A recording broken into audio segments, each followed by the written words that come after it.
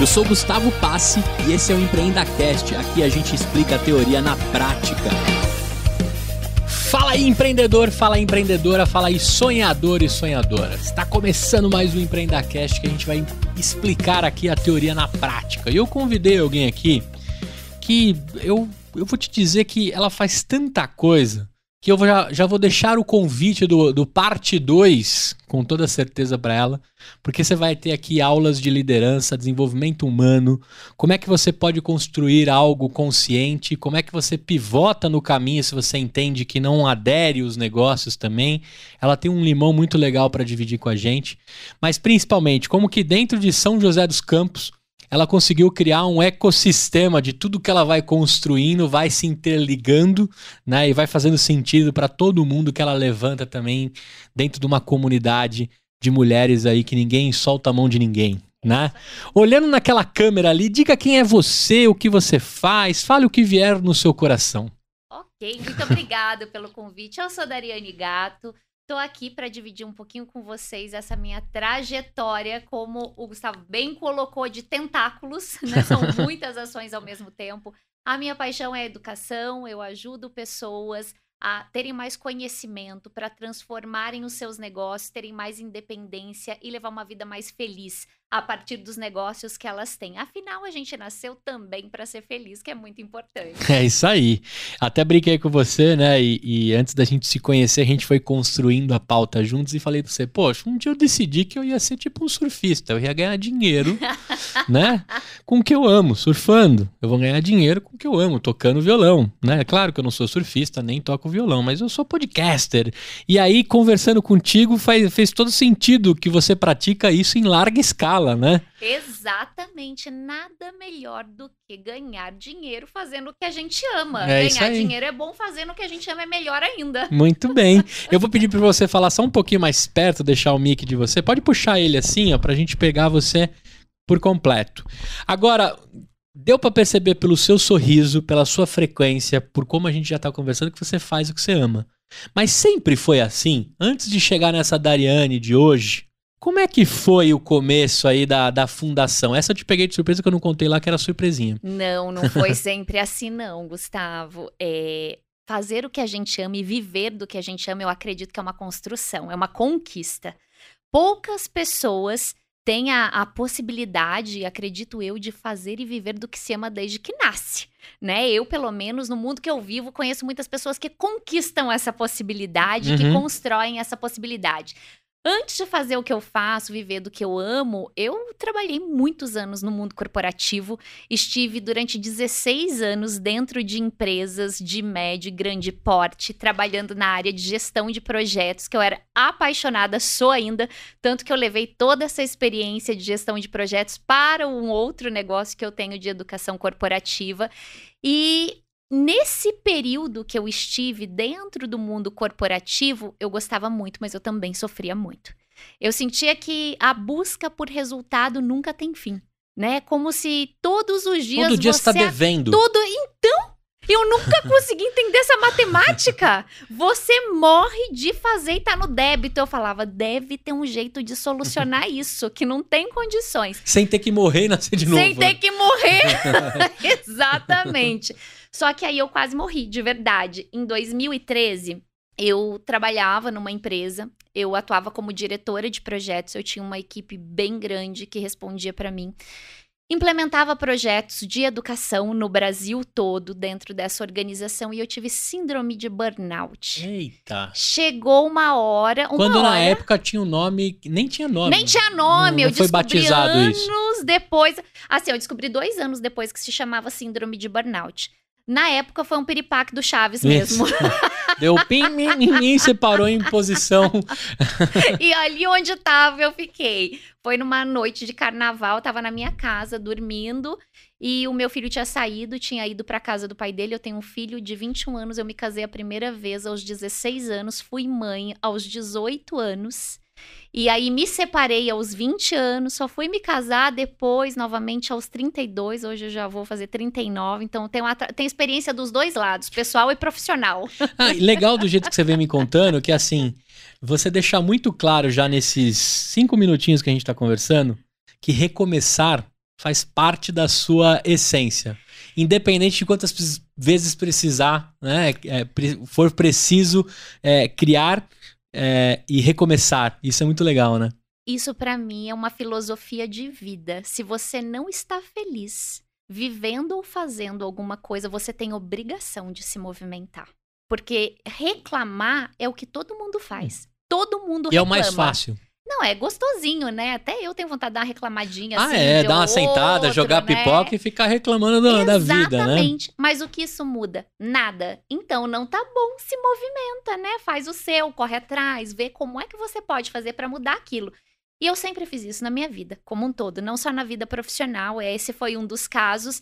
E aí, Nessa vez que eu estava lá trabalhando loucamente, já acordando no débito, como você falou, falando, gente, mas tá esquisito isso aqui, eu faço, faço, faço, faço, faço, faço, e tá faltando ainda como executiva, e passei mal uma noite, eu senti assim, eu perdi o movimento das pernas e dos braços, eu tive uma, uma crise de pânico, perdi o movimento das pernas, dos braços e durou uns cinco minutos, não foi muito, mas eu não conseguia pegar o celular, eu não conseguia ligar para ninguém, eu morava sozinha com que meu loucura. filho. E aí eu fiz um trato com Deus, né? Naquela hora, três minutos de oração. Meu Deus, por favor, se eu não morrer agora, eu juro juradinho que viro isso, vi, viro esse limão aqui, transformo esse negócio numa limonada foi tudo bem, eu fui melhorando. No outro dia fui no médico, o médico me falou que eu tive um, uma ameaça de infarto. Eu tinha, eu tinha de 29 para 30 anos. Caraca! E eu fiquei muito assustada. A médica que me atendeu no PS me falou, falou, olha, eu sei que você gosta de trabalhar e eu sou, assim, uma workaholic é, assumida. Eu não posso falar uma coisa que eu não sou. Cada pessoa tem seus vícios, eu tenho o meu, eu amo trabalhar. Quem nunca, né? Então, eu luto comigo diariamente para fazer isso de forma inteligente e equilibrada. Fazer as coisas dentro das possibilidades que existem. E essa médica me falou, falou, olha, ou você diminui seu ritmo, faz alguma coisa que você goste muito, que te faça bem, que te gere menos estresse, ou talvez você nem faça 35 anos, porque pessoas na sua idade, quando sofrem infarto, elas morrem, você sabe? É fulminante a É parar. fulminante, eu. Nossa, gente, eu que... tava tudo bem, eu só tava um pouco nervosa. É. Que top, obrigado, viu, por dizer que se eu continuar assim eu morro, né? Exatamente. E aí, nesse dia, eu resolvi que eu ia parar. Falei, eu agora vou me organizar, vou comunicar o meu empregador, vou fazer o meu Você saiu decidida do consultório? Saí do consultório. Decidida. Desse... Eu não quero morrer, eu quero viver, eu quero fazer 100 anos. 100 anos. Eu preciso fazer 100 anos. Antes disso, eu só vou contra a minha vontade. Se eu for antes, vocês já estão sabendo que eu não fui convidada para tomar decisão junto. muito bem, muito bem, que legal. Viver é muito bom, gente. É, eu gosto de é. viver, é. é gostoso, né? E eu saí do consultório decidida, até porque eu tinha um filho pequeno, que na época tinha nove anos, e eu falei: isso não tá certo, porque eu crio esse meu filho sozinha. Somos eu e ele né? Ele tem o pai dele, tem a minha família, todas as pessoas, mas quem é a pessoa que está todos os dias, quem leva na escola todos os dias, quem, quem garante a segurança dessa criança? Sou eu. E desde o dia que eu vi o meu filho pela primeira vez, eu pensei, meu Deus, a única coisa que eu peço na minha vida toda é que eu tenha a capacidade de cuidar desse ser humano e que eu nunca me esqueça que essa é a maior responsabilidade que eu tenho. É isso aí. Não sei por onde eu vou começar, não sei como é que vai ser. 18 anos, eu acho muito difícil uma pessoa estar tá preparada para fazer isso com 18 ah, você era anos. muito nova. Muito nova. Você, você não tinha alcançado, você casou com 16 e teve, como chama seu filho? Matheus. O Matheus Mateus você teve com 18. Com você já 18 tinha maioridade. Já. Mas você tinha acabado de receber a possibilidade de ser maior de idade. O Mateus foi a pessoa que me mostrou que é ser maior de idade. Entendi. Quando a pessoa fala assim, eu vou aprender o que é ser maior de idade, eu vou tirar uma habilitação. Ele acelerou eu a sua falo, maioridade. Nossa, vai tirar uma habilitação. Isso não é radical. Muito bem. Educar um ser humano é uma grande responsabilidade. Sim, sim. e é só óbvio. quem tem sabe, né? Claro, a mãe ela cria essa ligação desde o momento que começa a gestação. O pai, eu costumo dizer que é só a partir do momento que a criança aponta, né, na sala lá do parto que e dá fala, a primeira Nossa, é minha. É, aí parece que Deus manda uma ficha imensa, né? Ele manda uma ficha imensa e direcionada e fala assim, cara, joga isso aqui na cabeça do Gustavo ou desse pai, porque a partir de agora ele vai entender o que é pra a responsabilidade. Ver se cai uma ficha, né? A mãe, né? Acho que desde o começo da gestação do Matheus você já entendeu a responsa que você tinha. E a gestação, os nove meses, deve ter rodado nove anos de experiência. Nove meses é a coisa mais longa que eu já vi na minha existência, Gustavo. é assim, você tá grávida, você quer o bebê, onde eu, onde eu retiro, por favor? Se você já quer buscar. E é por isso que eu saí decidida de dentro do consultório, porque eu falei, bom, meu filho tem nove anos, eu quero ver meu filho crescer.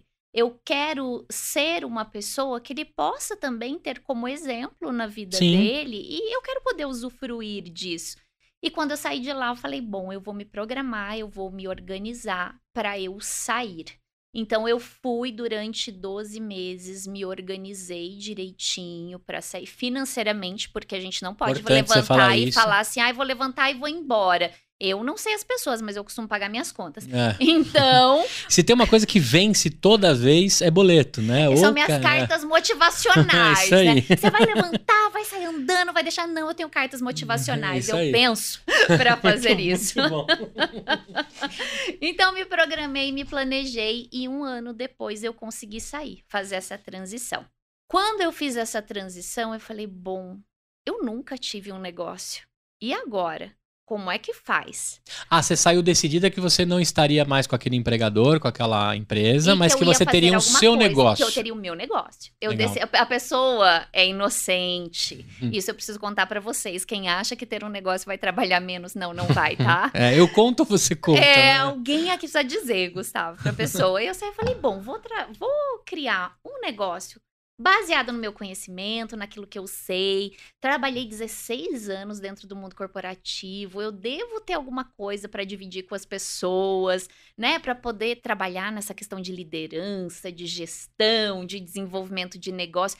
E eu posso trabalhar de acordo com a minha disponibilidade de horário. Rapaz, hum. esse era o meu plano. Tava lindo, no tava, papel tava ele, ele ficou maravilhoso. tava funcionando. E aí eu comecei o meu primeiro negócio, que é o Instituto CAS. Comecei sozinha lá em 2014. Comecei a trabalhar ele inicialmente. Eu era a pessoa que prospectava o cliente, que atendia o cliente, que preparava os treinamentos, que preparava a consultoria, que aplicava a consultoria, que media os resultados, até durante esses oito anos a gente se desenvolver e chegar aí onde nós chegamos hoje, né? Que a gente tem uma equipe que trabalha com a gente, tem outras pessoas que, com a glória de Deus, eu posso dividir as responsabilidades, que isso é muito maravilhoso. Mas eu fui notando um padrão também que eu tenho quando você me fez essa pergunta. Eu lembrei, ah, você sempre fez o que você amava. Eu sou uma pessoa muito inquieta, muito inquieta. Então eu amo muito uma coisa, assim, uns dois anos até ela entrar em operação. Depois eu já falo, nossa, mas todo dia fazer a mesma coisa. E eu comecei a perceber que eu tenho um padrão. A cada dois anos eu acabo montando uma iniciativa nova. Legal. A cada dois anos eu vou observando tendências, o que o mercado está pedindo, o que as pessoas que convivem, né, dentro desse ecossistema que eu tô lá inserida, mergulhada, elas têm necessidade e eu gosto muito de identificar problema para solucionar. Eu amo problema. Porque quem sabe solucionar problema, ah. meu querido, Pegue um problema para chamar de seu, pode virar uma startup. Isso é maravilhoso. Gostei, é, tá? Ideia ótima. Quando, ai, nossa, eu não gosto. Eu amo. É. Eu amo. Me traz aqui uma camadinha que é para eu ir pensando sobre isso.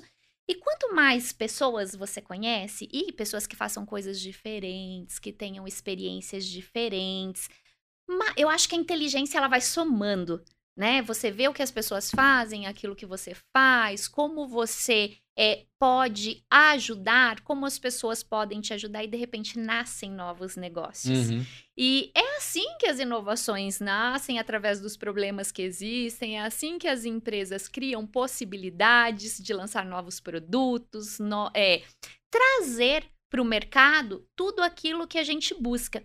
E uma das coisas que eu descobri nessa trajetória toda quando eu era executiva de empresa, eu era muito sangue nos olhos. Quando assim, você falou sabe? gestora de projetos, era que tipo de projeto? Tecnológicos, engenharia? Eu passei por várias empresas. Eu passei por empresas de engenharia, dentro de gestão de projetos. Eu trabalhei em parques tecnológicos, que faz desenvolvimento de incubadoras de negócios, de startups. Trabalhei dentro de Você pegou a época do Project? Sim. É, e depois foi pro ágil. Sim, Ah. tudo isso. Eu tenho certificações nessa É área, mesmo? meu filho, porque eu mergulhava mesmo Ah. PMI, pena É, todas aquelas. Eu tenho isso aí. É. É um monte de selinho. Pago em dólar pra você trabalhar muito. Muito bom. Pra você trabalhar loucamente. Muito bem. Dou valor porque dá trabalho fazer uma certificação daquela. E são, são conhecimentos que se aplicam na vida. Mas é chão. Sim. É chão para fazer aquilo ali. E aí eu fui notando que dentro dessas dentro dessas empresas, dessas experiências que a gente tem, sempre tem oportunidade de criar coisas novas. Você sempre tem oportunidade de criar coisas novas. E eu acredito realmente que as empresas que vivem muitos anos e que as pessoas que têm sucesso são pessoas que se reinventam. E são Uhum. empresas que se reinventam. Ela pode ter o mesmo nome. Ela vai estar lá o mesmo nome a vida toda, por exemplo, voz e conteúdo. Vai estar lá, bonita, mas ela já passou por 25 coisas diferentes Ah, que ela sim. faz durante 20 anos. A E mais de fica 250 engessadinha- pessoas que deixaram seus, seus, seus pouquinhos lá, né? Exatamente. E isso faz muita diferença.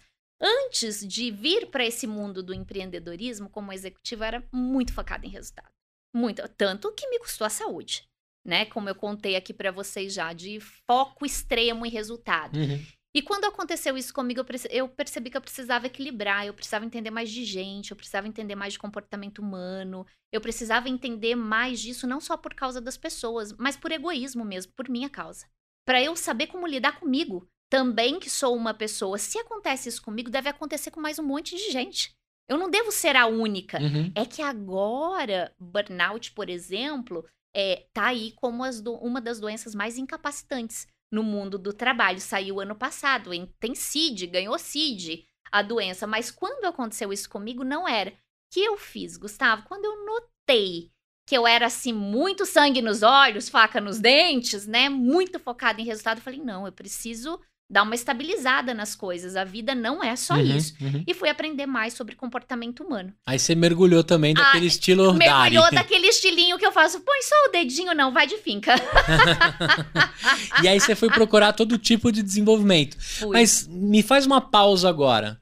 Na época, você na- é nascida em São José dos Campos? Sou nascida em Nascida em São José. Você, você terminou o ensino médio, procurou faculdade, não fez faculdade. O que, que você fez antes de ser a louca da, dos A, certificados? a louca dos certificados. É. Essa é a melhor descrição pra mim. O que, que você é a louca dos cursos? Todo mundo que convive comigo sabe, fala que curso você tá fazendo agora. O, o- seu LinkedIn deve ter umas 4, 5 páginas se fosse colocar todas as Tem certificações, né? bastante coisa, eu sou muito curiosa, Gustavo. Então tem alguma coisa assim aberta. Alguém fala, ah, vai ter um, um happy hour, uma pessoa vai dar uma palestra é, sobre buracos negros. Ai, vamos para aprender mais sobre isso, mas você nem usa isso, mas isso pode me trazer alguma ideia. Vai saber, né? Vai saber. Na dúvida eu vou. No Na pior, no pior vou. dos mundos eu faço networking, né? Exatamente. Se tudo der errado, eu conheço gente. É isso aí. E você Mas- fez o quê? Você procurou faculdade? Procurei É. faculdade, eu fiz o ensino médio, e aí meu pai, o meu pai é uma pessoa muito simples, Gustavo. Meu pai tem, assim, pouca educação, pouca instrução formal. Uhum. E o meu pai sempre me falava. Dariane, você tem que estudar pra ser alguém na vida. Você, eu levei muito a sério, muito a sério. É. Hoje ele fala assim, ele fala, para, já estudou, tá tudo bem, né? E ele me sempre me falava, por que, que você não vai fazer um curso técnico? Por que, que você não vai fazer um curso técnico? E quando eu tinha 15 anos, junto com o ensino médio, ele me pediu pra fazer, ele me pediu justamente pra fazer, porque eu não escolhi, era ele que escolhia na época, eletrônica. Até hoje eu não acredito Hum. que eu tenho um curso técnico de eletrônica. Eu tenho um celular aqui, Dari. Será que Gente! se a gente abrir ele. Gente, eu fico olhando eu falo, meu pai, eu vejo uma tomada, eu vejo um fio sem nada. Que loucura! Mas fiz e terminei, porque lá em casa era assim, você começou, você tinha que terminar, dar seus pulos. Tem que honrar. Tem que honrar. Aí terminei o curso de eletrônica. Eu achei que eu nunca ia me achar na vida, Gustavo. Aí terminei o curso de eletrônica. Falei, esse negócio tá muito ruim. Eu não vou ser capaz de ficar olhando uma placa com fios, essas coisas. Eu quero falar, eu quero conversar, eu quero interagir e tem que fazer em silêncio isso aqui. E com, e com um negocinho pra enxergar cada, cada pedacinho. E eu falei, não, não vai rolar. Terminei eletrônica. Aí falei, não, eu gosto de gente. Eu amo gente, porque eu sempre gostei de gente. Amo, amo gente. Falei, já sei, vou fazer alguma coisa na área de saúde. Aí fui fazer um curso de enfermagem. Tá brincando. Verdade. Quando eu conto isso, ninguém acredita. Mas curso técnico ou. Curso técnico de enfermagem. Fiz o curso técnico inteiro de enfermagem. Que loucura. Três anos. Serviu na pandemia agora, você usou, né? O quê? Talvez a, a própria pessoa... vacina, alguma coisa. Gustavo, eu ia assim de A a Z, de uma coisa a outra. Falei, eletrônica não, talvez enfermagem dê certo. Aí fui para enfermagem. Chegou na enfermagem, no meu último estágio foi em oncologia pediátrica. Aí eu descobri na prática que criança também morria. Eita. E as crianças morriam e eu ia para casa, eu chorava, eu não comia, eu ficava deprimida, eu não queria ir pro trabalho no dia seguinte. Falei, também isso não vai rolar. Porque, só que só deu pra descobrir né, quase terminando. No já. último estágio, quase terminando. Falei, eu vou terminar porque as pessoas vão falar o quê? Que eu sou uma pessoa perdida, gente. que não tá ali engajando no negócio. Falei, vamos terminar, porque assim, certificado, se tudo der errado, ou eu trabalho em eletrônico, ou eu trabalho em enfermagem. É isso aí. Se for máquina gente, eu tô pronta. Eu pra... tô pronta. pra ajudar e resolver. pra ajudar e resolver. Saí, não quis também. Aí, meu pai me falou, falou, olha, Mas então, você termina isso com quantos anos? Quando eu terminei o técnico de enfermagem, eu tava com 18 anos. O Matheus estava chegando. O Matheus estava chegando. Meu pai falou: olha, e eu já tinha casado fazia dois anos, e uma briga do meu pai, que eu sou grata, muito grata até hoje. O meu pai, desde o dia que eu saí da minha casa pela primeira vez, ele falou: você, você quer casar? E, e eu acho que você não devia casar agora. Mas se você quer casar, porque se é isso que você quer e você afirma isso com todas as forças do seu ser, você não vai deixar de estudar. Eu não sei o que você vai fazer, mas você vai estudar. Caramba. Nem que eu tenha que ir lá na sua casa e levar você para estudar. Então, assim, ele não monitorava nada da minha vida depois que eu casei, mas se eu tinha ido na escola com toda certeza, porque ele ligava para saber: você foi na aula hoje? É mesmo? O seu gato ligava lá e falava assim: você foi. Você foi na aula hoje. Quando não, ele ia lá no portão da ele escola. Ele dava ver. uma olhada, né? Ele devia falar: gente, a minha filha é uma adolescente ainda, tá casada, tá grávida. Vai nascer essa criança, essa menina não se encontra profissionalmente. Como é que vai ser esse negócio? Vai ser um desastre. Caramba! e aí o Matheus nasceu. Quando o Matheus nasceu, o Matheus nasceu em novembro. Aí eu falei, ah, eu não tô gostando de nada dessas coisas que eu tô estudando, esse negócio não tá funcionando para mim. Eu vou arrumar um trabalho, porque eu preciso trabalhar. E eu, eu literalmente precisava trabalhar, não era, não era por esporte, não, por necessidade. Vou precisar trabalhar. Aí fui e arrumei um trabalho.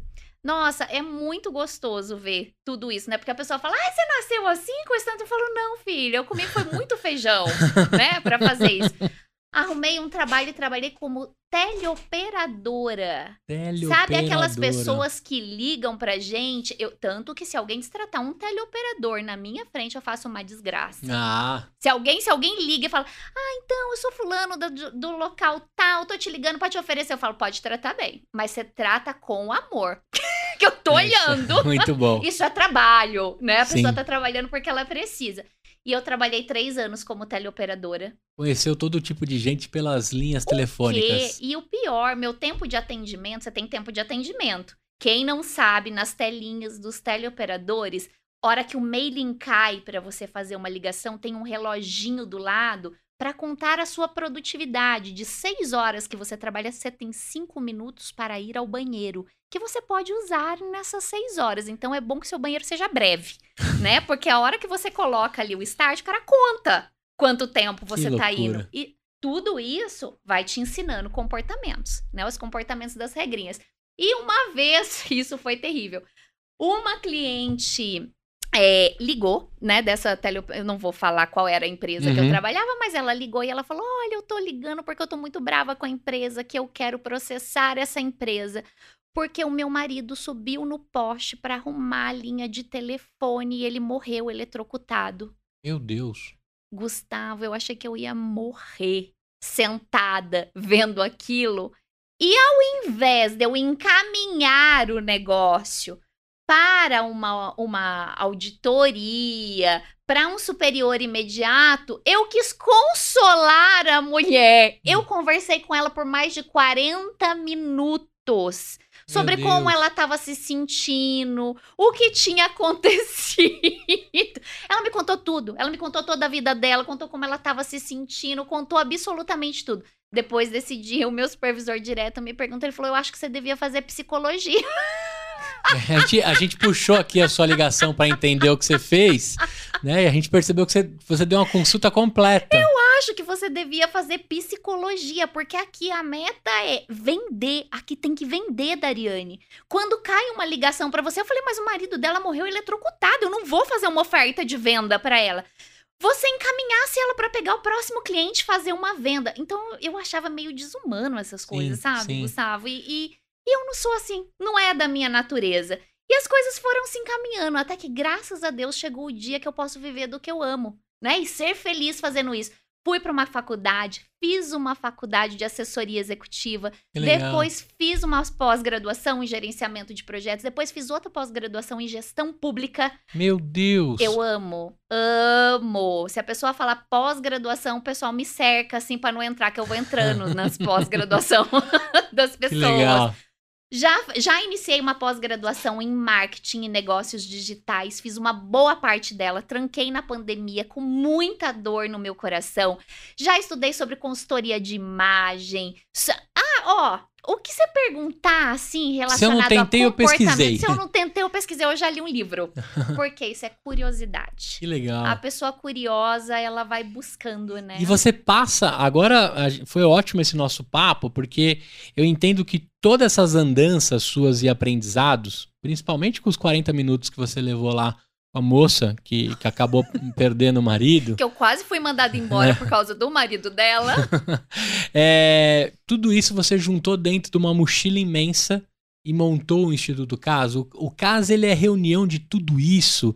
Ou você também pegou parte já desse momento é, gestão de projetos, grandes corporações? Que momento você entende que você tinha bagagem suficiente para montar um instituto de, de educação dentro de tudo isso que você consumiu, né?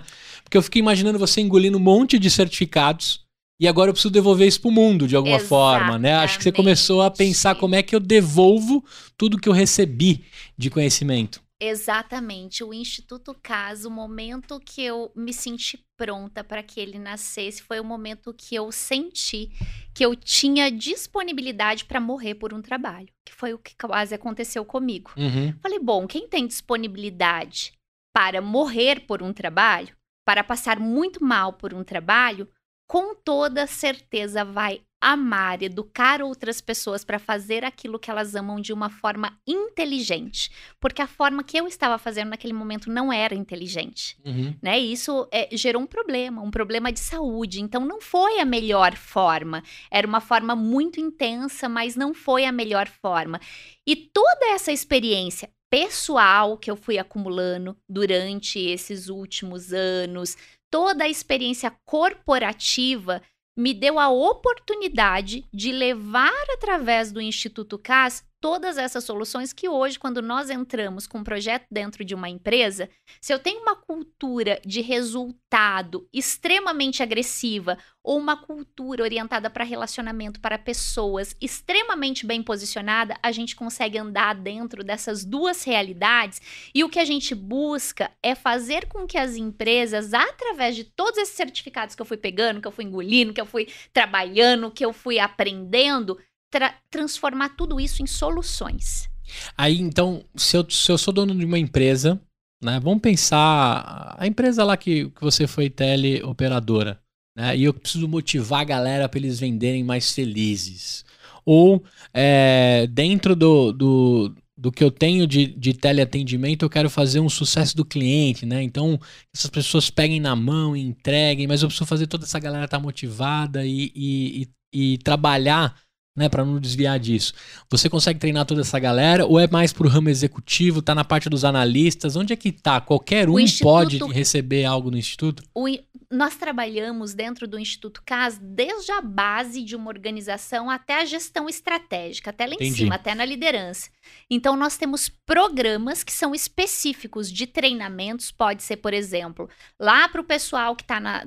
Quando a gente está como teleoperador, a gente está na base dentro Uhum, de uma empresa, sim. até para executivos. Então, quando a gente é, foi consolidando esses programas, esses treinamentos, nós vimos que são realidades muito diferentes, mesmo dentro das da, da mesma empresa. Uhum. E cada realidade ela exige uma linguagem e uma abordagem diferente. Então nós temos programas comportamentais e gerenciais para toda essa base que está dentro de uma organização. Nós temos bastante clientes na área de tecnologia, nós temos muitos clientes na área de serviço, indústrias que querem fazer o desenvolvimento de time de líderes, de executivos. Então são empresas é, de segmentos diferentes, mas que têm um objetivo em comum. Elas querem ter perenidade. Elas querem sobreviver, elas não querem morrer no mercado, então elas precisam se adaptar. Hum. Então, como é que elas se adaptam? O que elas têm que fazer? Né? Porque gente feliz dá Pra menos ela tem- trabalho, né? É, pra onde que ela tem que ir pra que isso, o barco continue com todo mundo remando, né? Exatamente. Ela precisa dar um motivo para essas pessoas, um motivo central para essas pessoas irem para aquele lugar, que vai sair de- da própria empresa, dos próprios líderes da empresa, mas isso precisa ser traduzido, isso precisa chegar para todas as pessoas. Nós ajudamos as empresas a comunicarem para todos os colaboradores delas onde elas querem chegar. Uhum. Através dos treinamentos, através dos desenvolvimentos, a gente prepara a empresa para atingir o resultado que ela quer. É isso que Agora, a gente faz. Quando você me conta isso e você fala de adaptação é, e condução da empresa, como que ela se adapta, como que ela torna aqueles colaboradores, né? Porque rola um planejamento estratégico, fica na camada executiva e tem que ser distribuído e nunca chega na base. Nunca E chega. nunca ninguém sabe o que era pra acontecer, né? Ah, Se perguntar qual que é o norte, o OKR da empresa, cara, tudo isso aí pra mim, por todo lugar que eu passei, se você perguntar pra tia que tá limpando a mesa, se ela souber que estamos alinhados, se ela não souber, não estamos É alinhados. isso aí. Todo funcionário, independente da função, tem que saber para onde é o norte da empresa. Sim. né? Isso tinha muito claro em grandes corporações, né? Na Coca-Cola dizem que se você perguntar para qualquer um que você cruzar os corredores, independente da função da pessoa, ela sabe quais são os objetivos principais eh, da Coca. Né? Não sei se isso é praticado ou não, mas eu já escutei bastante isso de várias pessoas diferentes. Olha, eu acredito que sim, pra eles atingirem o que eles atingiram, viu? Isso, né? E mesmo assim, guardadinho a fórmula lá e tantas outras coisas que foram criadas por trás de uma empresa centenária, né?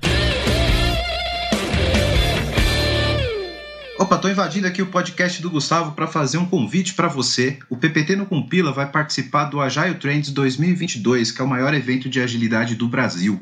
Então, se você ainda não segue o PPT no Compila, procura a gente aqui nas plataformas Spotify, YouTube, Deezer, estamos em todas as plataformas. Segue a gente e procura o agiletrends.com.br, faça a sua inscrição. Vamos fazer gravação de podcast lá ao vivo, você vai poder conhecer a gente, participar de um evento super relevante no mercado de transformação digital e de agilidade. Então, procura a gente lá, vai lá para ganhar uma camiseta do podcast e não perde não.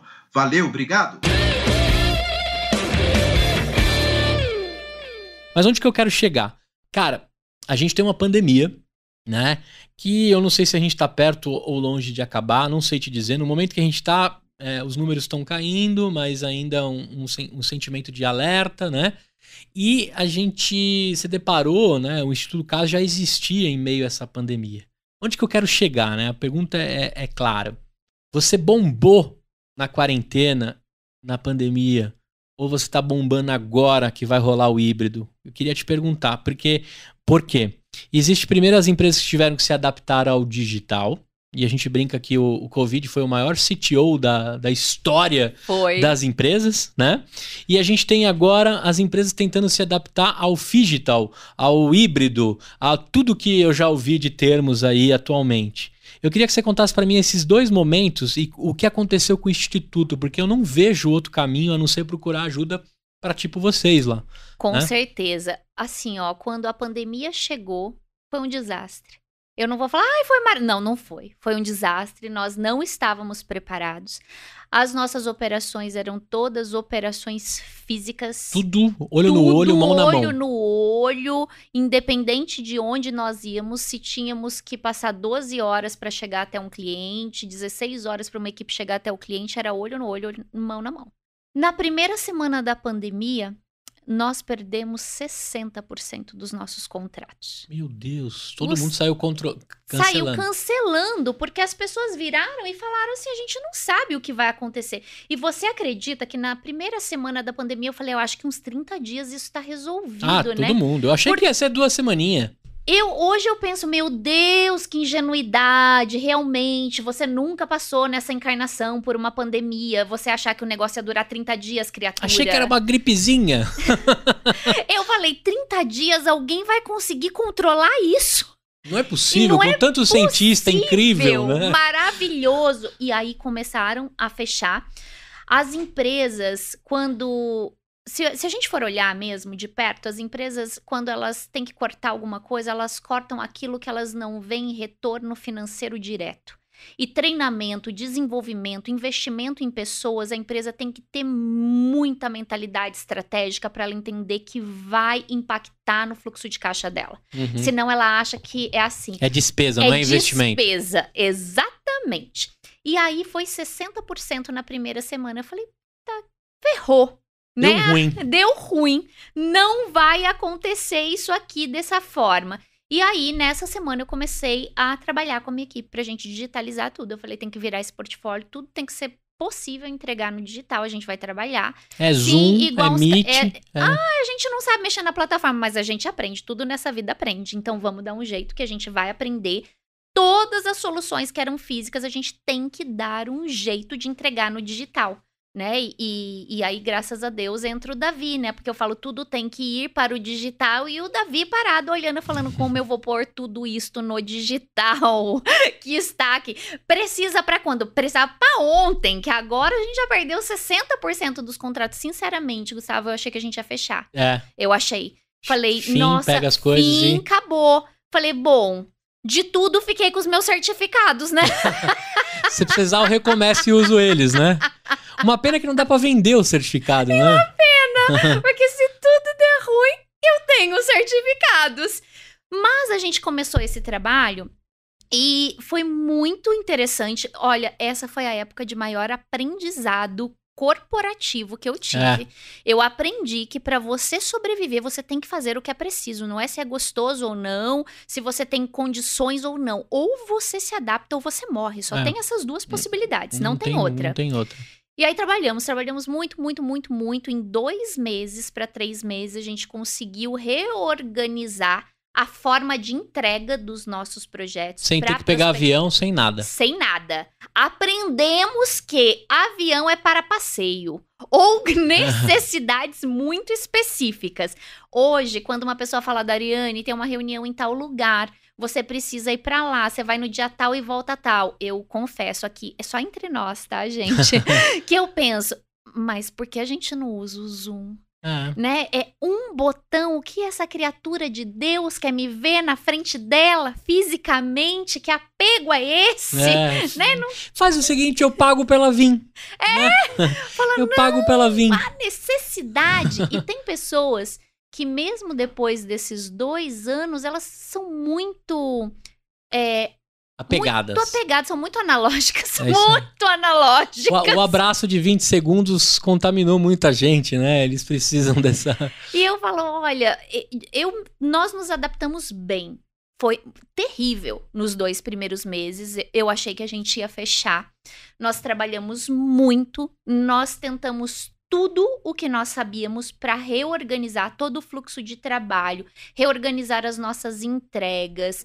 Nós migramos o público que a gente atendia, porque a gente trabalhava bastante com micro, pequenas e médias empresas. Nesse momento, fechou muita pequena e micro empresa, fechou.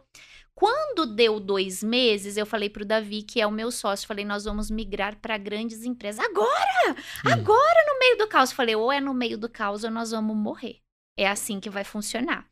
Então, a gente vai fazer um reposicionamento de marca, a gente vai fazer um rebrand de tudo isso aqui, a gente vai reorganizar esse portfólio, a gente vai alinhar isso com a nossa equipe, eu vou fazer um outro posicionamento de mercado. Eu quero um posicionamento de mercado, de mundo corporativo, de empresa que vai sobreviver ao apocalipse que nós vamos ver aqui, porque já deu 60 dias e não passou. Sim. Tá ruim ainda. E, e a, OM, a OMS dias. só mandava notícia ruim pra cima, só. né? Então notícia ruim em cima de notícia péssima. Exatamente. Eu falei, não, a gente tem que ir para clientes que vão conseguir sobreviver. Gente, é pensamento lógico. E é, porque mesmo você digital, né? O cara que ia avaliar te, te contratar é o cara que tá cortando despesa e ainda tá tentando sobreviver. A sua decisão foi incrível, acertada. Porque, por exemplo, eu sei a importância do treinamento e, e de deixar meus colaboradores é, bonitinhos, mas se eu estiver nadando para conseguir chegar do outro lado. Eu não vou fazer isso. Eu não vou parar para comprar barco, eu não vou parar para comprar nada, porque o que eu preciso mesmo é sobreviver até o outro lado, mesmo que o barco me leve mais longe. A minha cabeça só pensa em nadar, nadar, nadar e chegar do outro lado. Isso é do ser humano. O cérebro é preparado para tomar decisões instintivas que vão garantir a nossa sobrevivência. Qualquer coisa que nós entendemos que vai ser uma energia a mais, nós eliminamos independente do que seja, ou no mundo de negócio, ou na nossa vida pessoal, a gente começa a eliminar. O cérebro de quem funciona bem, elimina, Gustavo. É, a pessoa sim. fala: aqui não, aqui isso não. aqui não vai funcionar. Então a gente tomou essa decisão, a gente conversou bastante. Eu falei: agora, olha, vai ter que ser assim. Ah, a gente nunca fez, mas para tudo tem uma primeira vez, nós vamos fazer. Nós vamos, ah, e como vai ser? A gente nunca. Vamos treinar. Vamos ver, vamos fazer em alguns clientes, vamos entender como vai ser a reação. E aí, eu sempre gostei do digital, eu sou da internet, eu gosto de internet, eu gosto de gente. Se a pessoa me soltar lá, durante a pandemia, o que eu fiz de lá, o que eu dei de aula, o que eu usei aqueles certificados, aquilo foi realização. Falei, meu querido, é hoje que Você tem aula todo também, dia. Online? O quê? Mas muito. não fiz pouco, não, fiz bastante. Essa galera que faz lançamento faturou alto comigo. não, há, não há um lançamento que eu não fui fisgada, né? Que eu não fui fisgada. Às vezes eu falo, olha, Fulano tá fazendo lançamento, vou entrar no funil só para acompanhar para ver a estratégia de venda dele. Na primeira copy você Na foi. Na primeira copy eu viro e falo, gente, que copy boa. É. Será que entrega isso aqui mesmo? Vou comprar pra ver comprar se ele entrega o que ele me prometeu. Exatamente.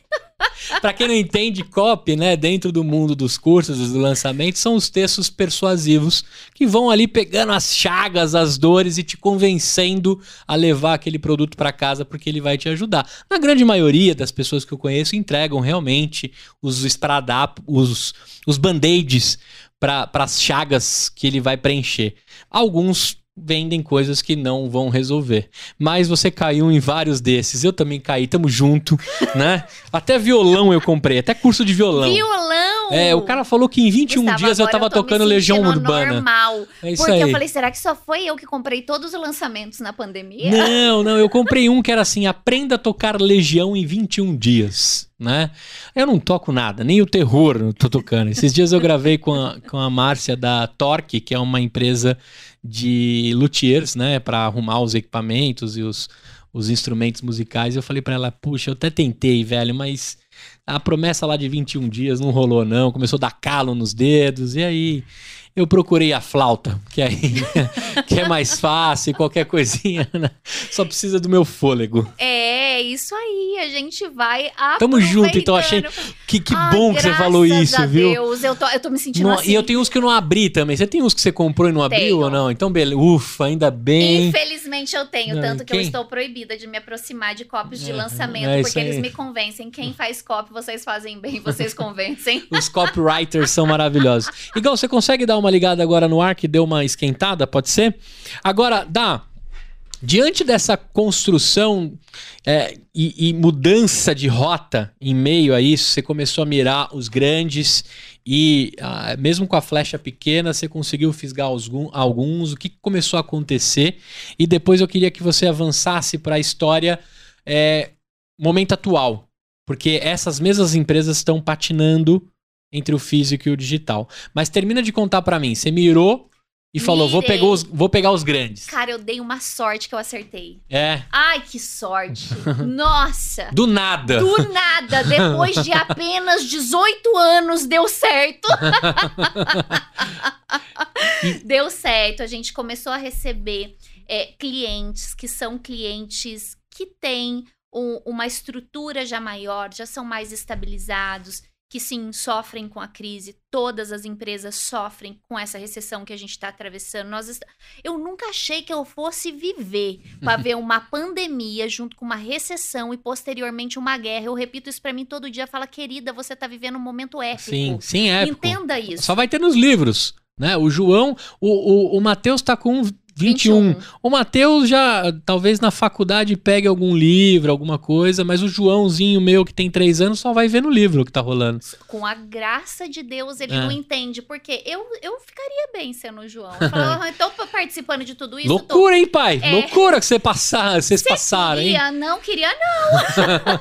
Loucura! Foi. Sanção, faltando até. é, tava vendo esses dias que agora tudo é na moeda russa, né? Uma loucura. O cara tá fazendo uma guerra e tá trocando a moeda das coisas, uma Um doideira. negócio doido. É. E quando a gente começou a fazer isso, fazer essa transição e começaram a vir os clientes, eu falei: eu não posso, nós não podemos dar nenhuma bola fora.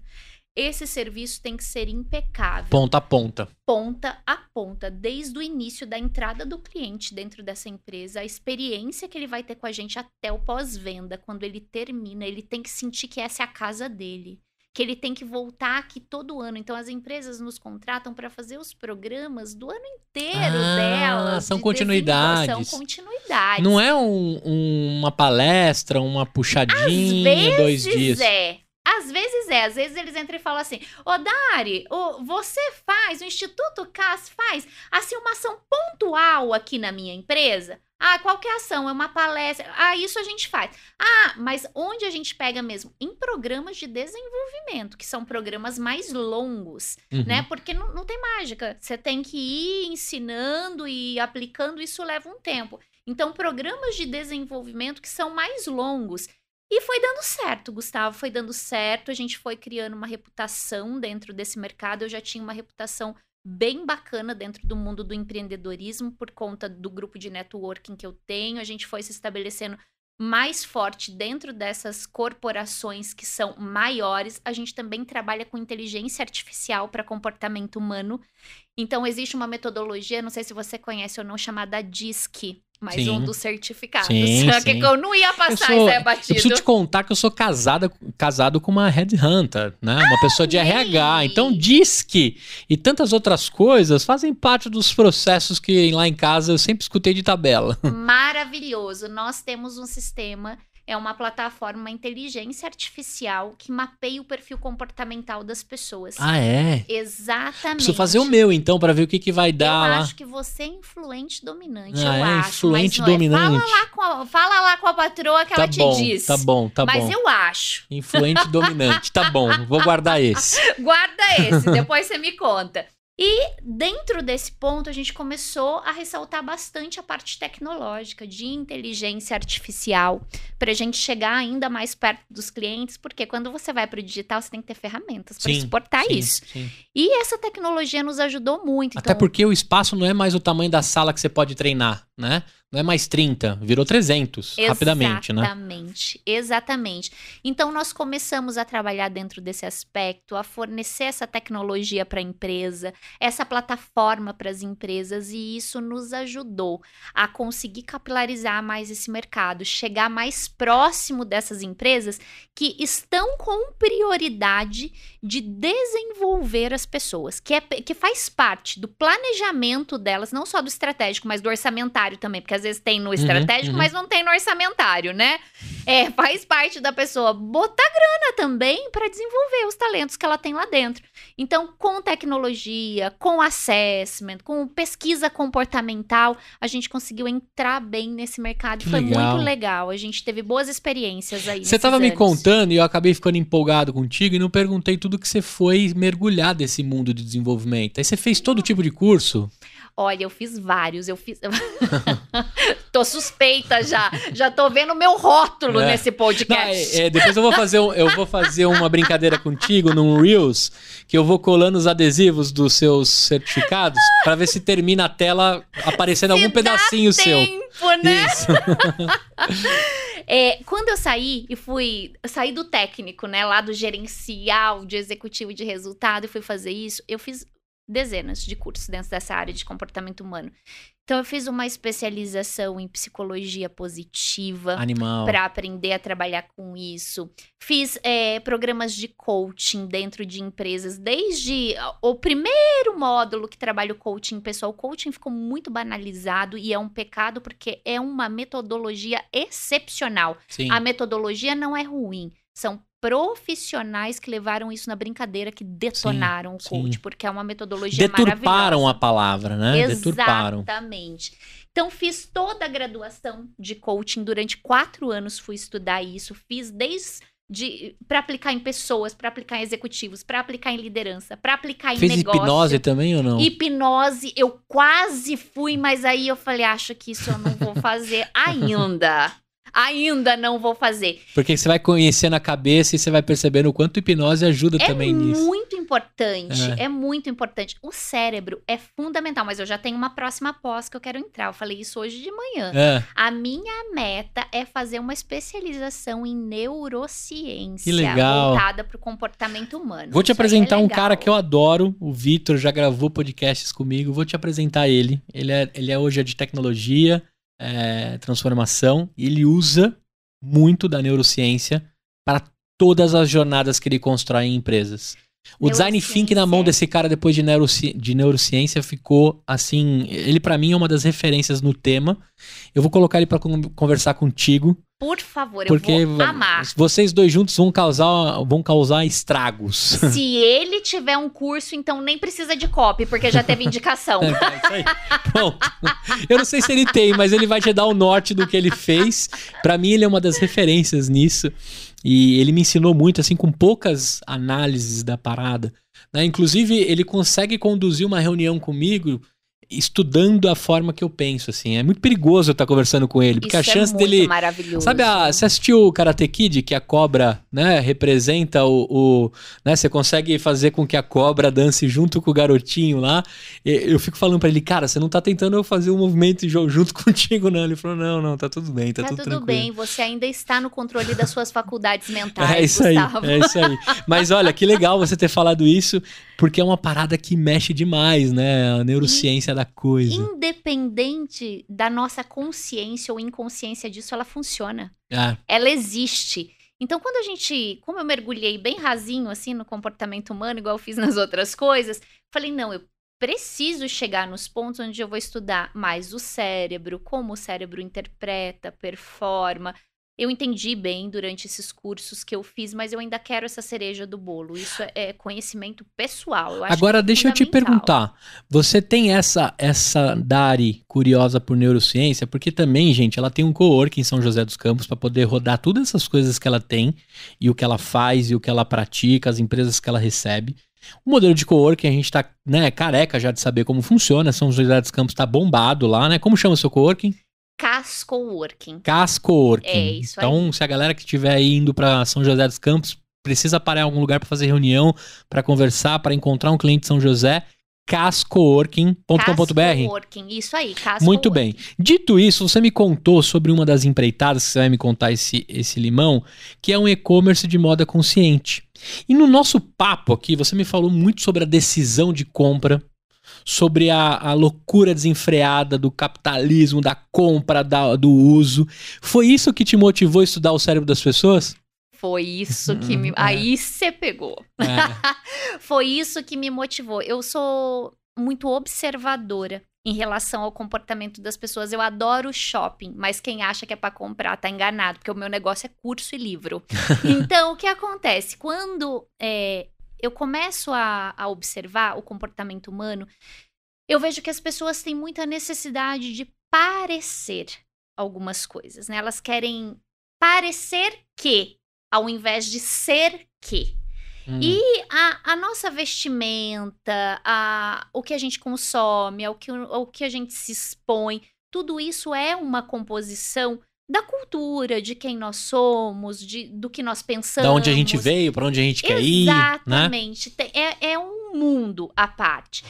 E eu me preocupo já há muitos anos, desde quando eu tive filho, como ia ser o mundo se nós continuássemos fazendo as coisas desenfreadamente como a gente vem fazendo? Eu acredito que acredito porque eu vejo dados e fatos, leio muito sobre isso que o mundo não tem capacidade de nos sustentar no ritmo que nós estamos. Se nós não conseguimos, se, se eu tive uma síndrome de burnout, eu que não sou nada, um, um, um alfinetezinho no mundo, imagina a Terra para aguentar toda essa sobrecarga que uhum. tem que tem que produzir, que tem que entregar, que tem que vestir, que tem que alimentar. Que eu tô atrasado, qual é o próximo stories, qual é o próximo cronograma? O negócio é o Reunião, caos. zoom, zoom, zoom, zoom, só isso que a gente, né? Só, o negócio é muito louco e confesso que isso me incomoda. Me incomoda um pouco, não, mas não me incomodou sempre, não. O uhum. desperdício é uma coisa que me incomodou sempre. E a ostentação também, eu tenho preguiça é. de ostentação, tem uma, um bodezinho assim, sabe? Eu falo, nossa, porque eu realmente acredito que quem tem conteúdo mesmo, quem tem mesmo, não fica Até porque se você né? fosse ostentar com todos os seus certificados pendurados nossa, no seu pescoço, você ia, ter, você ia ter dor na coluna, né? Então você é uma pessoa muito simples, apesar de ter contado tudo que você fez aqui, você não precisa ostentar que você estudou, você não precisa ostentar que você conheceu, você não precisa. Eu acho também péssimo na hora que você ostenta conhecimento. Também acho horrível. Agora, quando você ostenta é, objetos, né, consumo, né, desde o carro até o, o cordão, que às vezes também é mais pesado né, do, que, do que o que ele deixa de bonito no pescoço de alguém, eu também tenho é, como se diz, minha, como diz minha mãe, eu tenho preguiça. É preguiça, define isso. Às vezes eu, eu olho preguiça. e falo, nossa, eu acho que eu tenho preguiça disso. E aí eu sigo o fluxo, né? Porque cada pessoa vai viver de acordo com a sua consciência e daquilo que faz sentido para ela. Mas, como uma pessoa que acredita na educação, o que me incomodava nesse consumo desenfreado, nessa ostentação desenfreada, é que isso prejudica todo mundo. Sim. Né? Não é uma coisa que prejudica quem está fazendo. Porque, sinceramente, se prejudicar só quem estava fazendo, para mim tá tudo bem, Gustavo. Ok. Beleza. A questão é que eu moro nesse planeta. Sim. Meu filho mora nesse planeta, meu marido mora João nesse planeta. João também tá aí esperando um mundo melhor. É, então, não, nós, eu acho que a gente deve isso para os próximos que virão depois de nós. Eu acho que a gente tem uma obrigação moral e ética de não, não pensar só no nosso próprio umbigo, de conseguir compreender também que nós estamos deixando um legado não é só o que você constrói, é também aquilo Sim. que você não destrói para o próximo que vai vir, né, Sim. né, para ele poder usufruir. E como isso me incomodava bastante, eu acabei começando a, a, pesquisar um pouco mais. Eu sempre gostei de me vestir bem, sempre gostei de me cuidar. Né? As pessoas falam assim: ah, você não gosta de se arrumar, não gosta de comprar. Não, eu gosto de comprar, eu gosto de me arrumar sem excessos, de forma equilibrada. Eu gosto de ter aquilo que eu preciso, não só o que eu quero. É diferente aquilo uhum. que você precisa e aquilo que você quer. E eu acho que isso vem com a maturidade, com a consciência. Quando a gente é mais jovem, ou a gente não tem muita consciência, a gente sai desenfreado fazendo sim, as coisas. Sim. Depois você vai vendo que você pode ter uma vida muito legal se você lapidar os seus relacionamentos. Se você estiver perto de pessoas que valem a pena, não é a sua roupa que vai fazer de você sim, uma pessoa melhor, sim. não é seu carro, não é o seu espaço, não é isso é, é, as pessoas que você tem, é o quanto aquelas pessoas que estão perto de você. Sim, esse é o grande valor da coisa. É, o que eu brinco também, assim, além de ter bons amigos, uma família unida, eu sempre brincava assim, puxa, eu precisava tanto de um amigo que tem um barco. Eu precisava tanto do amigo que tem um, uma moto, porque aí eu uso duas, três vezes só. A gente faz uma economia compartilhada, né? Porque eu acredito na E aí eu não preciso comprar a moto, eu não preciso comprar o barco, né? Além dele ser legal e gostoso, ele comprou, eu usufruo depois, né? E, e devolvo. Mas brincadeiras à parte, assim, o grande barato tá nessas relações que esses bens e essas coisas não fazem mudança nenhuma. Não é, né? não é a prioridade, é. não é o que nos define, né? Isso não define ninguém, não era para, mas tem sido. O que acontece?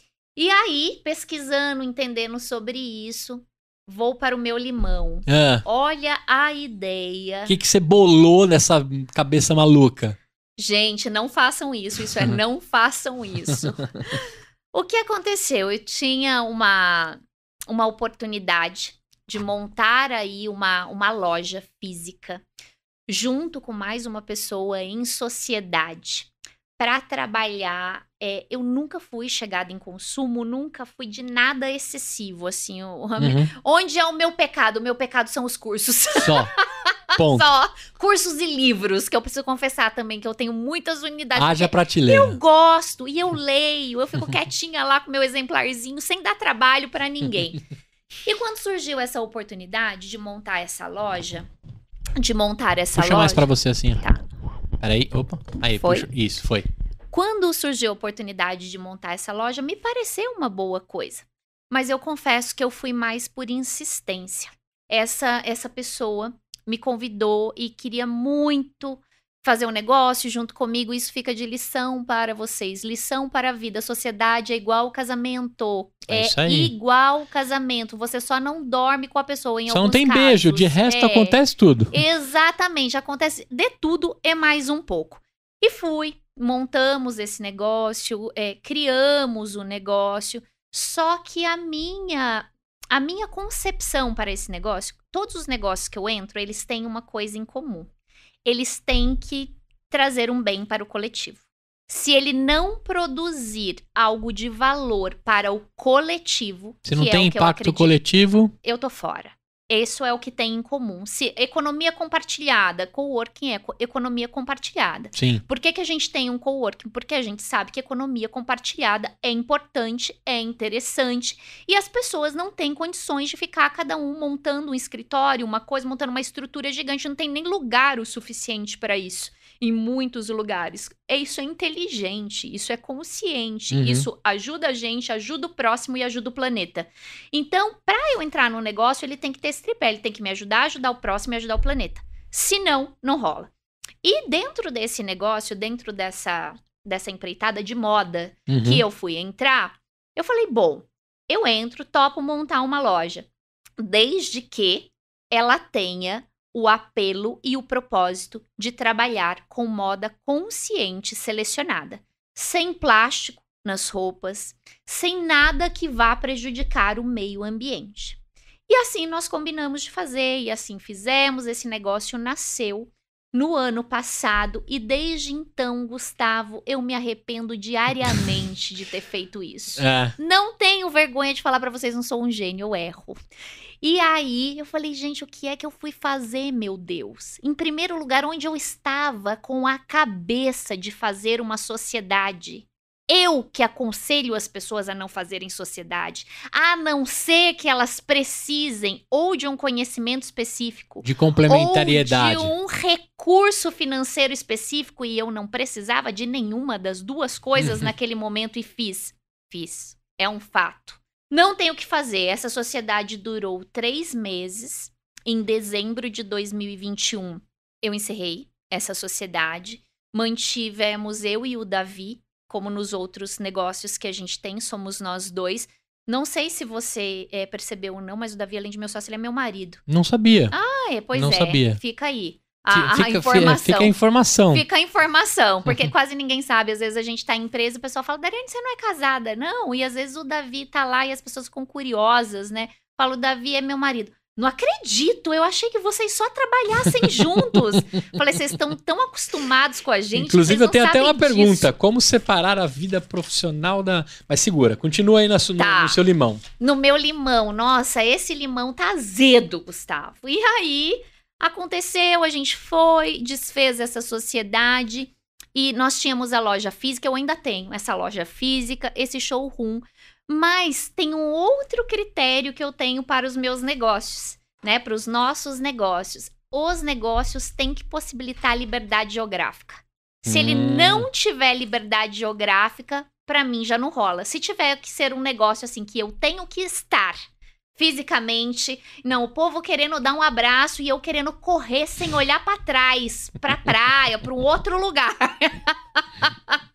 Se ele não possibilitar essa liberdade geográfica de fazer o trabalho sem estar preso em um lugar, eu já dou uma desanimada também. Então eu gosto muito do digital, eu gosto de tudo aquilo, eu, eu gosto de coisas mais futuristas, que a gente use a inteligência, os recursos, as tecnologias para que as pessoas tenham vida melhor e os negócios tenham mais performance. Você curtia é Jetsons, então? Ai, adoro. Tinha bastante coisa legal ali pra deixar o bem-estar das pessoas funcionando, né? É, tem que funcionar sem muita intervenção o negócio. E quando aconteceu isso, lá com a loja montada, tudo montadinho, Mas o que, que você acha que não deu certo, além da, da- do, do desvio de valores e, e visão entre é, a sociedade? eu acho que o que não deu certo é que a sociedade ainda não está preparada. A sociedade mundo, A planeta. sociedade mundo, planeta, ainda está em estágio de sensibilização para entender que é importante ter critério para o consumo. Quando eu apostei nesse negócio, eu apostei que as pessoas tinham critério para consumo. Eu errei feio. As pessoas não têm critério para consumo, não todas, obviamente. Tem Sim, pessoas sim. que têm sim muito critério para consumo. Mas é um recorte muito pequeno ainda dentro do, do país É e do mundo que a gente vive. muito inicial. É muito inicial. E assim, na região que eu tô também, isso é muito inicial. São José dos Campos é uma cidade maravilhosa. Trocaria lá única e exclusivamente pelo Rio de Janeiro, que eu sou apaixonada, que eu moraria tranquilamente, mas fora isso, não moraria em nenhuma outra cidade fora essa. Quando você está na cidade, você percebe que ainda falta, sabe, um pouco de Uhum. é, consciência, de conhecimento sobre isso. Então, eu acho que eu cometi nesse negócio dois erros que eu já refletindo, já, já identifiquei. Então, o primeiro erro foi fazer uma sociedade com uma pessoa que eu sabia que tinha princípios, valores e visões diferentes da minha. E o segundo erro foi fazer algo que ainda está há muito tempo à frente. Como para mim isso é natural, eu não compro uma peça de roupa sem olhar o selo para ver a composição. Se tiver plástico, eu não uso. Se não, se tiver uso excessivo de água, eu tenho pouquíssimas peças. Sim. Por exemplo, eu quase não uso jeans. Eu tô com uma jaqueta jeans aqui, é a única ah, jaqueta jeans que eu tenho e calça jeans eu acho que eu tenho duas. Porque o jeans, eu sei que a indústria do jeans está trabalhando para melhorar a questão da lavagem. O problema não é o algodão, Mas vai o água problema é a água. demais. Vai pra- água demais. Eu preciso. Se eu não vestir jeans, eu vou morrer? Não. Então por que, que eu tenho que sair carregando 300 sacolas de jeans? Já a água, se eu não tiver água, eu vou morrer? Vou. Então qual é a minha prioridade? O jeans ou a água? Então eu vou priorizando as coisas. Mas eu imaginei e errei que as pessoas já tinham essa consciência maior. Você fez um recorte diante da sua bolha. Diante da Tem minha mais, bolha. tem mais dares que você conhece que são assim? Tem mais dares que eu conheço que são assim, mas o, o, o Davi, que é meu sócio, fala que eu ando com a turma que é do contra. O Davi tem isso com ele? O Davi, ele é muito focado em coisas de reuso, é, de comprar coisas de segunda mão. Aham. O Davi é a pessoa mais. Da economia eco- circular. Da economia circular. O Davi é a pessoa que menos desperdiça coisa que eu já vi na minha vida, juro pra você. E isso que eu, eu aprendi muito com ele, isso, muito com ele. E eu tenho a coisa de que eu não gosto que prejudique o planeta. Então junta os dois, É um- uma É. baita sociedade. uma baita sociedade, só que ninguém quer comprar isso aí, É, Gustavo. é. Eu, tava, eu tava dividindo contigo, eu acabei de vir de Santa Catarina, né? Que, cara, que cidade, é, que estado, né? Incrível. Vim de Balneário Camboriú. Assim, coisas lindas, praias pouco exploradas pelo humano, umas muito exploradas pelo ser humano, outras pouquíssimo. E aí eu fui no mercado. E aí, cara, eu tava ali olhando as minhas coisas, pesquisando, já faz um bom tempo que eu não compro as garrafas de água, né? Mas eu sempre passo ali pra buscar uma cerveja, alguma coisinha, dependendo do churrasco que eu vou fazer. E tava acontecendo uma cena que acho que vai ser inesquecível, eu vou deixar retratada aqui pra vocês no podcast. Um casal tava pesquisando o- as garrafas de água. E, por exemplo, um litro e meio tava 1,79. 500 ml tava 29 centavos. 3 vezes 29 dá 90. Dá 3 vezes 29 dá 90. É, 90. 90 é quase 87, 87, 87 né? É que eu não fiz Kumon, desculpa, perdão, escola pública. Mas dá 87 centavos por um litro e meio. E o outro tava muito mais caro. E aí o marido fez a matemática rápida e começou a pegar todas as garrafas pequenininhas possíveis. A esposa falou: "Ô, pera lá, nós vamos produzir muito lixo". A resposta dele ele falou: "Tô cagando pro lixo". É isso. O que eu vou fazer, eu vou levar e vou economizar. E aí eu fiquei, ali naquele momento entre a, a o planeta, o consumo, e se E eu não comprar, outro vai carteira. comprar, e a sua carteira. E eu falei assim, cara, não tenho uma opinião formada sobre isso, preciso, preciso entender e digerir. No momento ali, né, eu acho que na cabeça dele foi a economia, na cabeça dela, cara, o tanto de lixo. Uma agressão pro Não, meio ambiente. Mas é, uma, uma agressão pro meio ambiente. Mas era um casal, né? É, ali tinha alguns alinhamentos que não estavam rolando. E aí, quando você me disse que a galera tá cagando pra isso no momento atual, né? Quer dizer que a gente não teve nem tempo de se educar entre as pessoas que a gente tá se relacionando. Porque dentro de casa, talvez, ela separa tudo e deixa na sacolinha correta pra ter o descarte. pelo menos isso voltar. Ele deve jogar a garrafa e o Nossa. orgânico no mesmo lixo. Ai, eu morando com esse moço, nem sei o que eu faço. Não, então, mas aí o que eu quero dizer poderia ser os gêneros invertidos, tá, gente? Pelo amor de Deus, eu não quero Claro. associar isso a gêneros. Mas ali a decisão foi, e no final, ele lotou o carrinho e levou. Com tudo aquilo de garrafinha. Com tudo aquilo de garrafinha. Né? Dava pra montar uma casa, né? Na, na próxima Páscoa, se fosse decorar lá a casinha do coelho no shopping, pode buscar as garrafinhas na casa deles. E aí, quando você me disse que a galera tá cagando pra isso, você só concluiu o que eu tava imaginando. E por que, que eu falei de Santa Catarina de Camboriú? Porque eu percebi um carinho imenso pela praia, pela beleza que aquela cidade é abençoada. Mas um pouquinho que eu entrei pra dentro da cidade e fui pro consumo, acabou. Né? É um negócio doido. Acabou Gustavo. a parada. E essas garrafinhas não sabem lá onde vão parar. Eu confesso pra você também, pra não ser hipócrita, durante um bom tempo eu comprava copo descartável pra não ter que lavar louça. né? Não vou mentir pra você. É, em casa, várias tripas de copo descartável, porque não dá trabalho de lavar a louça. Um belo dia eu me questionei, eu falei, cara, eu tô economizando água, eu tô economizando preguiça, e aí eu parei de comprar os, os fardinhos de copo descartável. E aí eu tive essa conversa com a minha esposa. O que aconteceu é que a louça começou a aparecer, tá? Porque Começou a brotar a louça brota, né?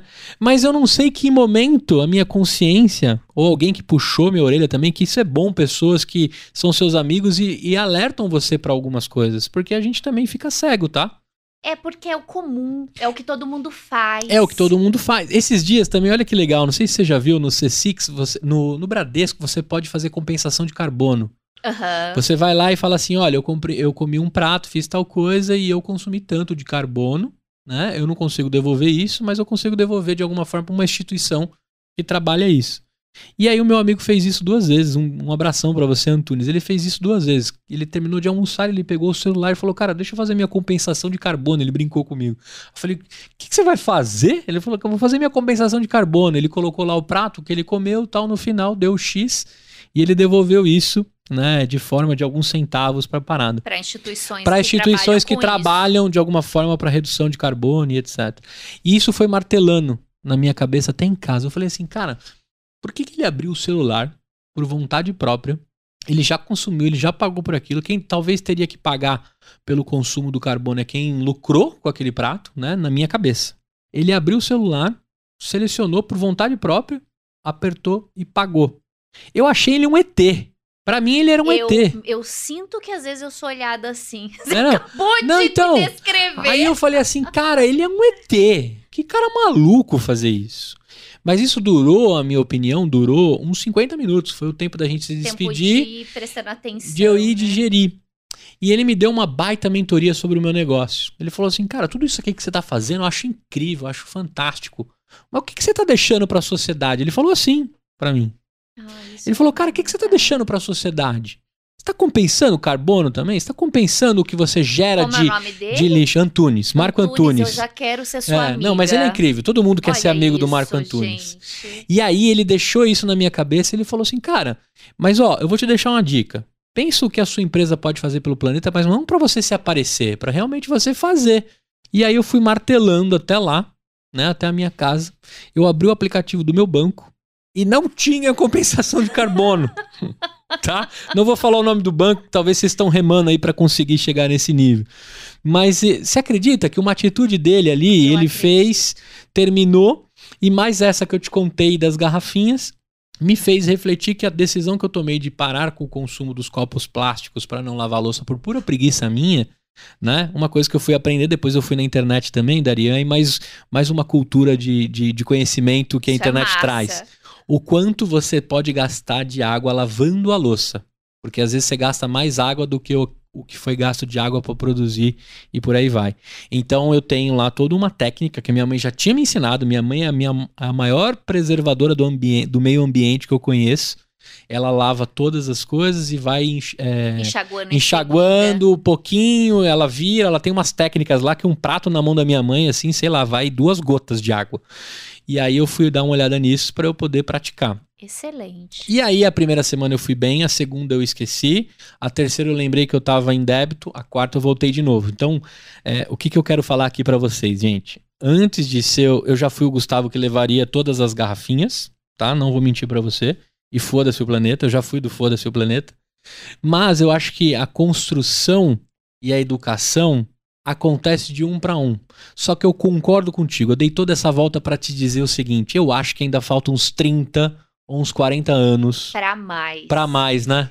Para tudo isso acontecer. Isso que você colocou é assim fantástico, porque a maioria das pessoas, quando a gente vai conversar sobre consumo consciente, sobre reaproveitamento de materiais, sobre os problemas que são gerados quando a gente consome desenfreadamente, a pessoa fica com uma cara de pim, É, assim, pra gente tipo, nossa, só comprei isso aqui, credo. absurdo. Que absurdo, exatamente. Só tô aqui com um fardinho. Também não vou te dar esse É. chocolate aqui. Exatamente. E aí, aí foi o meu erro estratégico. Foi um erro estratégico, porque como na minha cabeça isso já é muito claro, né? E, e eu entendo, compreendo, respeito e é uma escolha de vida Uhum. pessoal minha viver com o necessário e fazer aquilo que é necessário, porque eu não preciso acumular uma série de coisas Uhum. Porque de tantos acúmulos que nós temos no mundo, falta para um monte de outras pessoas. Então as pessoas têm que trabalhar, têm que ter o mérito delas, têm que ter o desenvolvimento delas, mas elas têm que ter espaço para isso também. Se a gente acumula uma série de coisas, quando começou a pandemia na minha cidade, teve um dia que eu fui no supermercado que tinha tanta gente com um fardo de papel higiênico, eu não entendia o que era aquilo, eu fiquei parada na porta do supermercado e eu liguei pro meu marido, eu falei: "O que, que tá acontecendo? O mundo vai acabar, vai acontecer alguma coisa. Eles compraram todo papel higiênico. Eu vim aqui comprar pão. Ou tem laxante na água de São José dos Campos, né? O que tá acontecendo? A única coisa que ele me falou, ele falou: não saia comprando um monte de coisa, porque vai faltar pra quem precisa. Pega Legal. só o que você precisa, volta pra casa e depois a gente vai dar um jeito de comprar o que tá faltando. Porque as pessoas naquele movimento, naquela loucura de comprar tudo, quando a gente olha, a gente fica desesperado também. Falei, ai gente, será que eu preciso comprar tudo que tá Eu no sei. mercado? Muita comida, muito papel higiênico. Por que as pessoas estão levando papel higiênico? Não sei, na minha casa nem cabe aquele tanto de papel higiênico. a minha mãe falava assim, gente, não tenho nem bunda pra tudo isso. né? Minha mãe, os clássicos co- comentários. né? E eu falei, gente, eu não tô entendendo o que que tá rolando aqui. Mas vai desde aí até a gente achar que é, determinadas coisas não, não tem problema, né? Recentemente, eu acho que tem 20 dias, saiu um, um estudo que nós, os humanos, já estão nascendo, os bebês estão nascendo com plástico na corrente sanguínea, com microplástico na Que corrente isso? sanguínea. Depois pesquisa pra você Ah, ver. É. Aí a, pessoa, ah, o plástico foi parar lá como? Na nossa alimentação, na água que foi para os oceanos, nos descartes mal feitos que nós fizemos, na quantidade de consciência que a gente não tem, que a gente soca tudo em qualquer lugar, no mato, na praia, no rio, e depois a gente come desses lugares. Então É. a plantação do que a gente come vem dali. E isso é importante. Só que eu imaginava que isso já era importante para uma maior quantidade de pessoas quando nós montamos esse negócio. E aí eu descobri na prática que não que a- as pessoas ainda estão nessa fase da garrafinha que você falou. Ah, foda-se, meu, eu preciso. Isso aqui vai ficar muito mais barato. Eu não vou pagar isso aqui, não. Quem, quem viver que se lasque, né? Pra, pra tirar água e comida de Comigo algum não morreu, né? Comigo não morreu. Exatamente, exatamente. E aí, eu ainda não tô pronta pra desistir desse negócio, que eu sou. Eu, eu, eu, eu tento. Mas você tá nesse momento formas. pivotando Eu ele? estou no momento pivotando ele pra. Eu tô tirando toda a estrutura física dele, tô pivotando ele pra um e-commerce, porque aí eu quero ir do local para o nacional. Ao invés de ficar no local, que eu tenho uma quantidade menor de pessoas com essa mentalidade, no nacional, talvez eu Sim, consiga atingir sim, um sim. número maior de pessoas que daria ali no meu bairro. Sim. Sim, e outra, Onde a gente você pode construir um oceano internet. azul, né? Porque é, é, é um, é um oceano, né, que não sei quantas Darianes acordaram hoje com essa vontade, porque ainda a gente não tá nem educado para isso. Exato. Então, se você for pro, pro amplo, né, pro, pro nacional, né, vender nacionalmente, você de alguma forma vai construir, né, algo de um oceano mais azul. Que daqui a pouco não vai ficar também se todo mundo Exatamente. descobrir, mas não tem problema. Quem chegou primeiro, né, Bebe, bebe, água, limpa. bebe, a- bebe água limpa. Eu acho que é, é bem prudente. E lógico, né? é, tem umas pegadas que eu fico imaginando aí, dando pitaco já, eu tenho certeza que você já pensou, né? Desde a embalagem e da Tudo. entrega disso, dá pra colocar uma pegada muito sustentável ali. Eu tô longe de ser educado sustentavelmente, mas dá pra construir um negócio que, que de fato vira uma grife, né? Que você compra pela essência que ela oferece. Isso eu É. acredito demais, assim. Exatamente isso. E aí, nesse momento de, de pivotar esse modelo de negócio, eu tô sofrendo luto, né, de ter que abrir mão de uma coisa que eu achei que ia, nossa, ser sucesso, né? Eu falei, ó, uma bosta. É. Não funcionou, deu ruim, eu perdi dinheiro, mas eu acho que isso faz parte. Mas chegou a sobrar estoque ou não? Tem pouca coisa agora Tem pouca coisa que você vai acabar coisa. utilizando, né? Vou, vou acabar utilizando. Mas dentro dessa. pivotar ele para um e-commerce, eu, eu tô com algumas ideias diferentes de coisas que eu quero fazer. Por exemplo, confecção própria. Eu, eu prefiro trazer para dentro do negócio para garantir é, uma produção limpa. Sim. Com empresas que, desde a produção do tecido, aí já que é pra ser chata, vamos ser na cadeia produtiva inteira, né? Sim, sim. vamos pegar na cadeia e vamos trabalhar com todo mundo que inteiro, tá né? alinhado com o que você tá construindo. Exatamente. né? Então, desde produção de tecido, eu, eu quero. Isso é- aí agora a gente não tá falando mais do limão, agora a gente tá falando do sonho que eu tô com limão. Porque eu Aham. acabei de estar com limão na mão, mas já tô sonhando com uma outra coisa que eu vou fazer em cima dele. Trabalhar com comunidades locais de pessoas para a construção das peças dentro dos tecidos que forem selecionados, porque aí eu consigo também fomentar pessoas Sim, que têm é, essas social. habilidades com impacto social, que é um dos pilares dos negócios que a gente faz. Animal, Então, animal. tô, tô com dor no coração? Tô. Tô naquele momento falando, mas que merda que você fez, garota. Tô, mas já tô sonhando numa outra linha É ali que aí. eu vou com aquilo, porque chorar não adianta, né, É meu querido? Chora rapidinho Se você levanta. começar a chorar, eu tenho lenço pra vender pra você, né? E é assim e que vai. agora? Ele é um lenço ambiental? Se for, Se tá for, comprado. tá comprado. Muito bom. Olha, eu vou te falar que essa é a parte lá no Jô Soares que fala assim, pá, tá acabando a entrevista. E a galera faz, ah, né? Eu queria passar o dia contigo. Felizardo do Davi, que eu não sabia que era o seu marido e passa os dias contigo. Não sei se Né? ele pensa isso aí não, Né? viu, Eu penso, Gustavo? pensa assim, dá pra ver pelo sorriso dele aqui.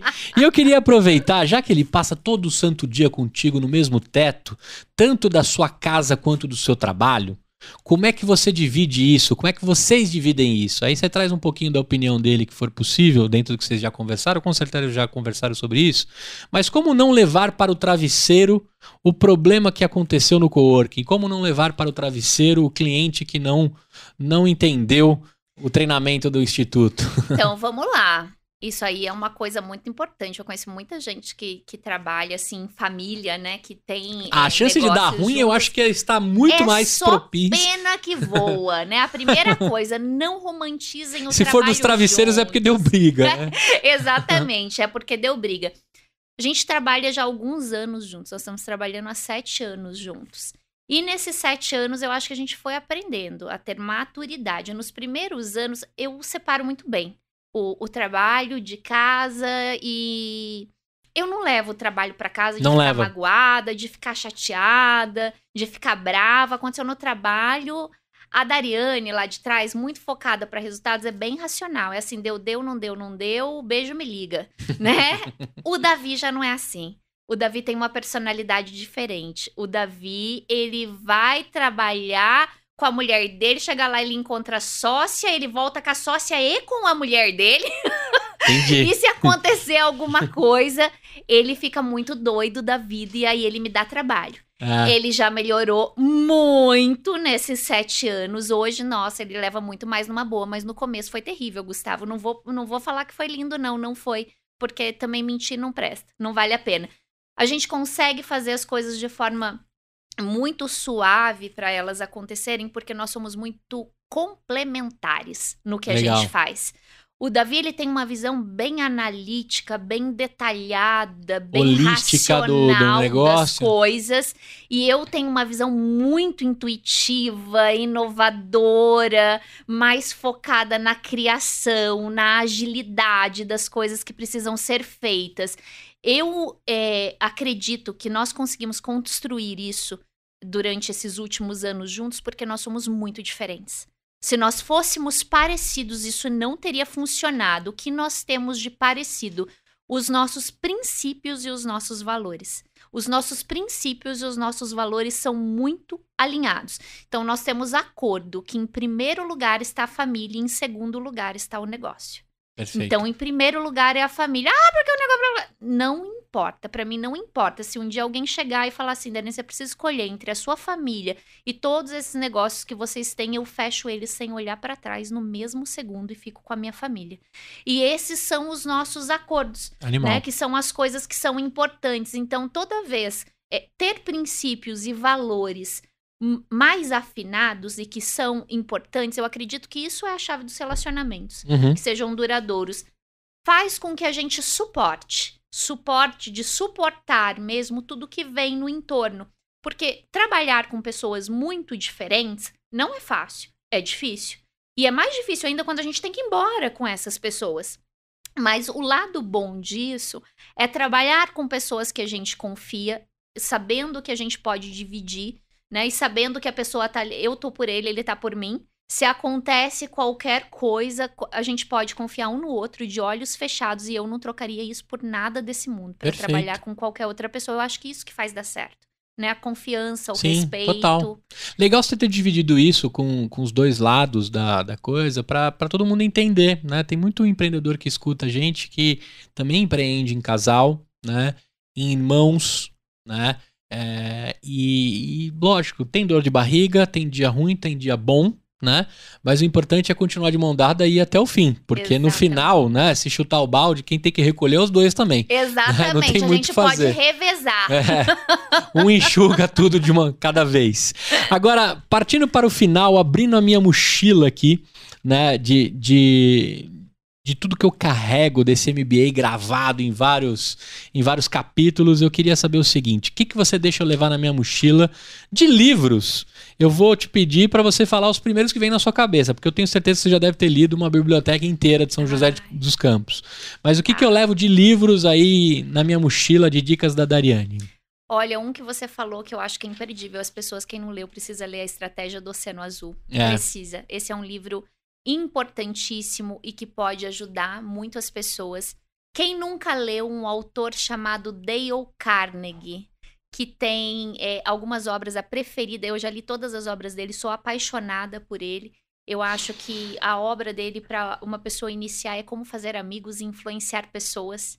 Nele, eu aprendi que 95% do tempo as pessoas estão pensando nelas mesmas. E aí, você que lute para conseguir interagir com essas pessoas. Ele tem, assim, obras incríveis, maravilhosas, que eu adoro, adoro, e eu acho que faz muito sentido. Eu gosto muito de literatura. Eu leio muito literatura.